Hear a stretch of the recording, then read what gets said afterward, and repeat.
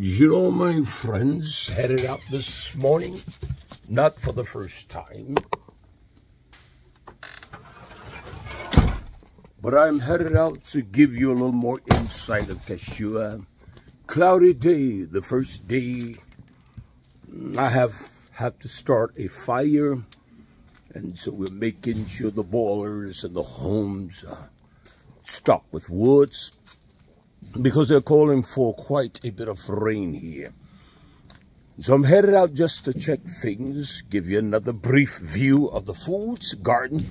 And this is not a garden, all right? It is simply, we grow in these beds to supply the food we need for the dining hall and for our consumption. And so I must give of that. Boiler house is rolling near the wood, keeping that dining hall and my home and others and the facility here warm. And so look at these greens. I tell you, my friends, I love these. I will take this and eat this, two of these. I put everything in those. And this is just enough uh, to see how big the cabbage heads are getting. They're getting big. We got some that are much larger. Kale and broccoli and cauliflowers.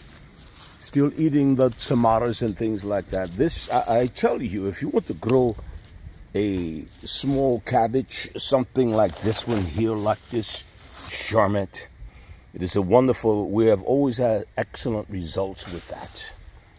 Always. Or the red jewel, something like that for red cabbage. You see that one there? It's, it's ready to go. It will be when it fills up.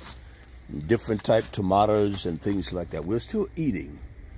And basically you can eat all year, uh, not all year, but you can eat until there's a, a freeze. And it doesn't look as though that we're going to get one uh, freeze this year. You must understand to have a debilitating freeze, it's got to be, I would say minimum 24 degrees and for a sustained period of time. And so I come and eat this fresh every day with every meal. These are some tremendous mustards here. I love them raw. I don't want them cooked.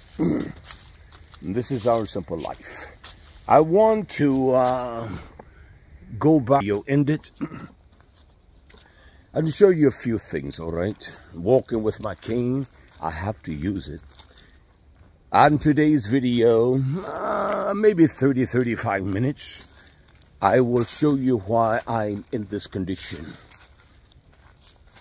Yabruk, you all, wherever you are, learn to care for the nation. Learn to grow some foods.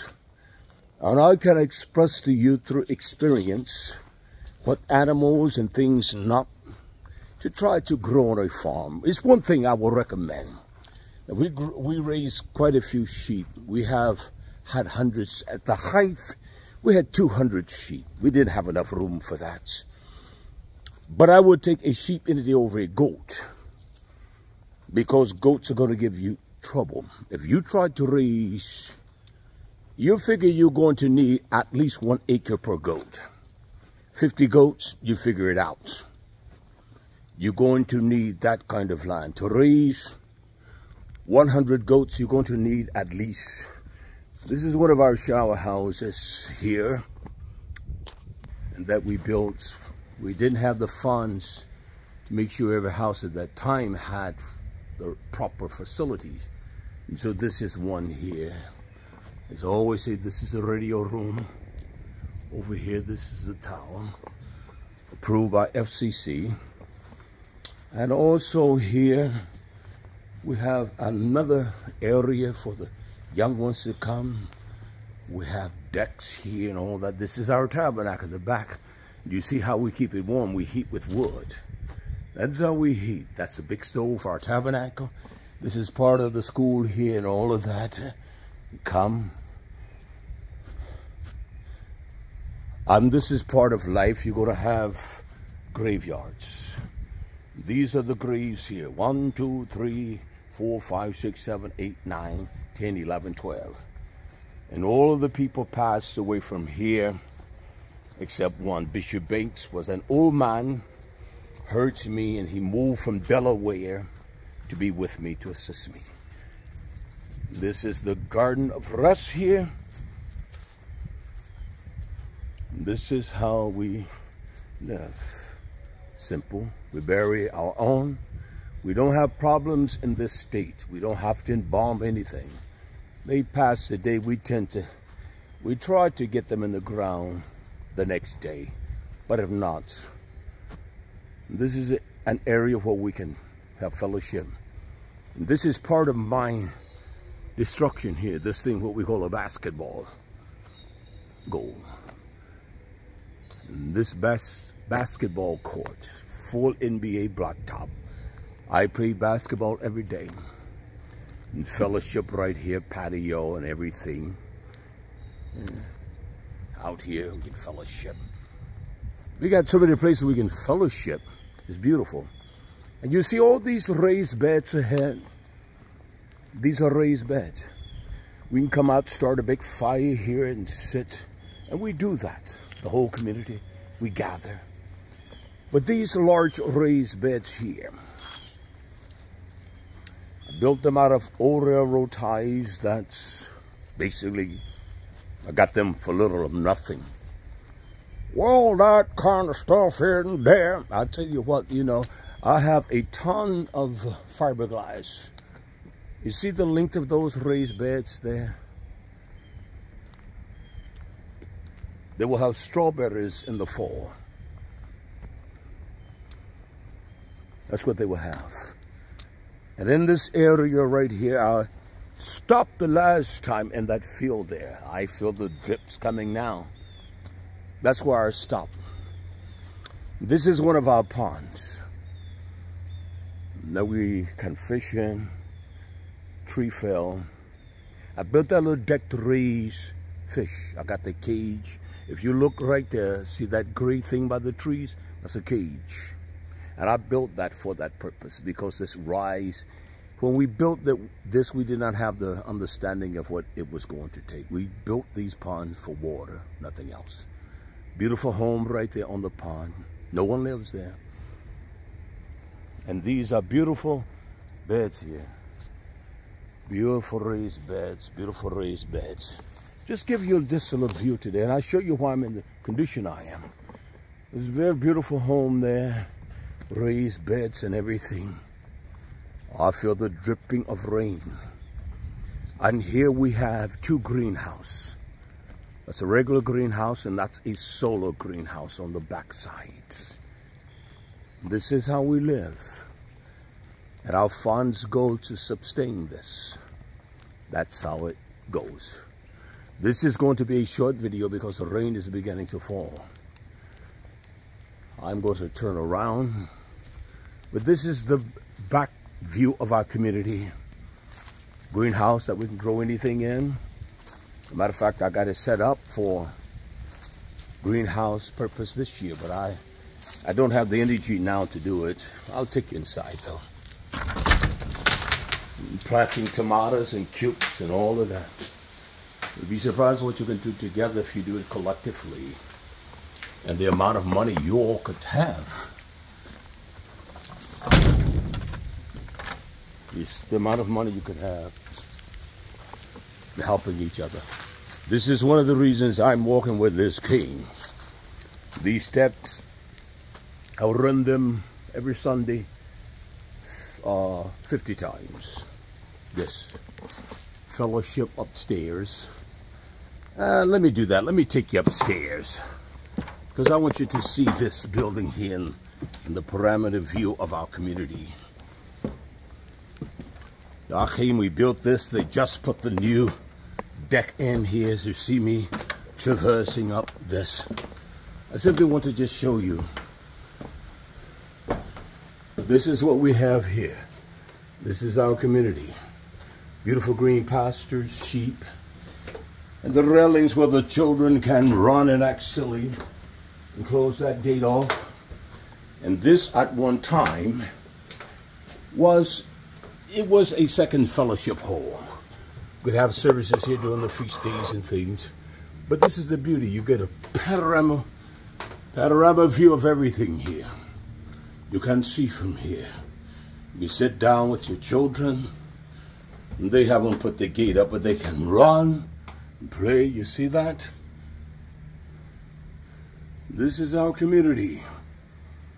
Pecan trees.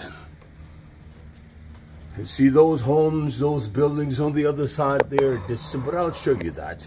There were people and families live there. Our own butcher shop. We have a cane mill over there. We will buy our, our diesel and gas by the tens of thousands, thousands of gallons to save money. They will bring it by trucks. And this is the front portion of this building. Let me take you in. This used to be, we had pews and everything in here. You can see where they were on the floors here. You can see the where they were. And all of this beautiful, you come in here, children would praise and preach. See that? We built this out of wood that was thrown away. Man here, Caucasian, he would say, preach, I got all that wood. You want it? I would say, I will take it. And all of this is just surplus things. This is a beautiful, would not this make a beautiful cabin of a home? And then you can see here on top of the tabernacle, I wanted to be a 360 degree, degree view of everything. The swimming pool and basketball courts and everything here. This is a beautiful way to live. I would not want to live this way if I had a million dollars. I will put it into the growth and the beauty of this place. This is the backside. You see all the raised beds and where I just come from? The graves and everything right there. You can see that. So you can see all the way around. Everything. We come out here, we, we play basketball and to the midnight hours. Have some ballers here too. The pond and all of those things. You can see everything. It's a very beautiful, attractive place. Look at the colors. They're so amazing. I don't like dead colors. I love beautiful colors. Vibrant and alive. This is how we live. This is one of the places. It's a fellowship hall. We're going to remodel it. We're in the process of remodeling this and to turn it into an oasis. We have all of our, us as Achim, we are skilled to do things like that. So we're into a center for children, for them, for fellowship, and all of us. Teachings and this would be more or less like a room where they can calm the young ones, and play chess and all those kinds of things or whatever. We're getting rain here. I may stop this video when I show you the reason, the main reason why I'm in the condition I'm in. This is one of them. But I'll show you the culprits, the true culprits, the culprits of my demise by my own ignorance. I have to be careful. But old man, too.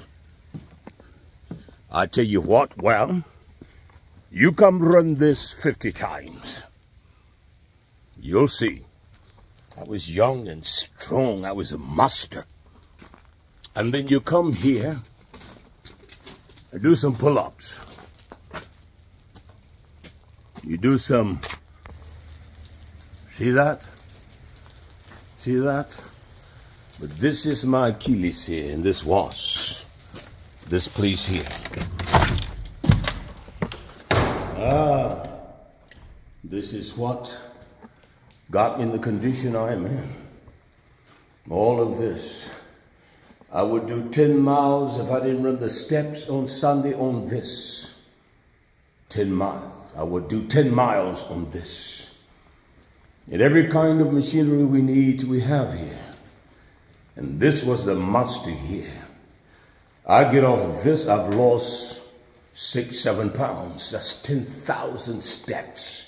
I would do 5,000 every day and 10,000 on the weekends. And this, this is not a little boy's house here in those days. This was not a little boy's house. This was a real man's house here. I told you I would, and but this is my this is this is what really broke me down. This, you see that machine man? You put a thousand pounds on that and try it. We have radios that we commune with each other. And so you hear one telling one their laundry is ready. And this machine right here, I would do 1,000 pull downs with 90 pounds on that. 1,000. One day that, and then this bench, a thousand sit-ups with a medicine ball over there. And all of this. And these jewels here, there's nothing here that I could not handle. But these are the ones here. This was my domain and above. And we worked out the Achim. This is a gym here. This is not something, this is a real gym. We built this. Used wood that was thrown away. And this right here, ah, you would have to be shown up tight to handle me on that. 200 plus pound bag. I would do 12, 15 rounds, three minutes a round, minimum 250 punches per round. I had to pick it that hard. And then I had to, I will rest for a minute and kick right back on it. But this is a wonderful place here to live. Why you're not doing it? up because I'm hurting, but I still come in here and lift what I can. It's raining now. This is what we're working on now. This was a beautiful place here. We got everything we need. I'm going to cut across here. Here's a little deck here. This is a fellowship here. They play all kinds of instruments, our young children, self-taught. Yusipiya, Joachim, they're all self-taught. Joaquin Ya Ramiyas Ishon, she is self-taught as well. So we all play self-teaching.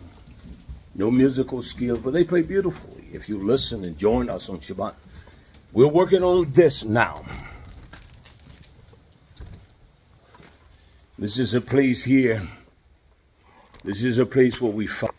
We're working on this. We're going to take up this carpet here. We got new carpet in. Wonderful times in here. I did all of this here. All this wood and stuff was stuff that was thrown away.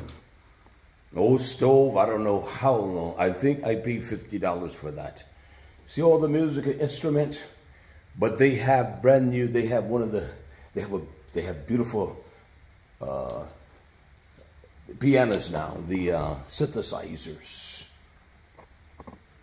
We come in here and they do all kinds of school plays and everything.